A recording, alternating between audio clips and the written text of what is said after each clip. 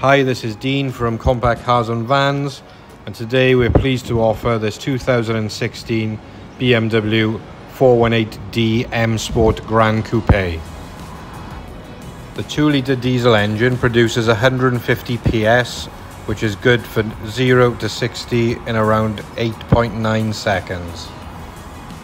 A great feature of this car is the automatic electronic tailgates, which we will now demonstrate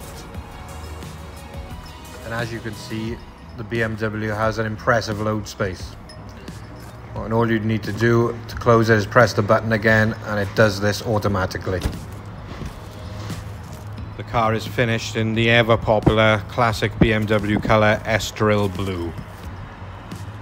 And it really does need to be seen to be appreciated. So let's now go ahead and take a look at what the interior has to offer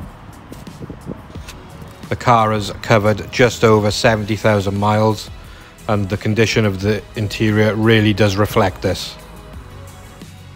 It has BMW professional media, dual zone automatic climate control, sport and economy modes, full leather seats, front and rear of course.